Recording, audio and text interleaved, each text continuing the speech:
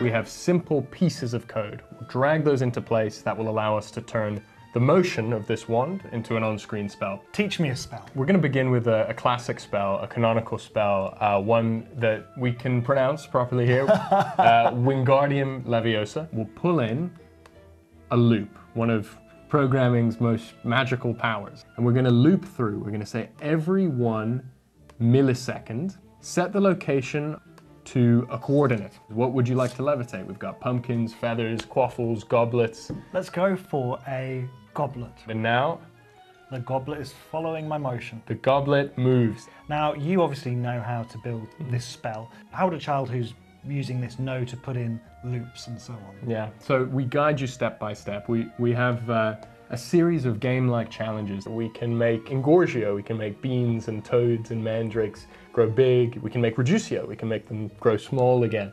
A lot of the classic spells that you'll recognize from the books and movies are makeable, interactable. I have seen some people online saying it would be very cool to be able to point this at smart home gadgets and turn them on with spells. Are Yeah. there any plans to do anything like that? Right now in the prototype you're showing, uh, it's mostly within Kano, but because it's all based on these real technologies, the attachment to other services is uh, something that is quite simple for us to open up. Your company's released lots of different coding experiments for children. The Harry Potter one is one of the more expensive ones. Does that just reflect the price of that brand having that stamp on it? We think the price point is is a really good price. Like the software engagement, even on our first computer kit, which we're quite well known for, uh, is on par with Snapchat. It's not a toy, it's a tool, uh, and you'll get a lot out of it for your 99. I've been to Ollivander's wand shop in Universal Studios. It's pretty cool. eh?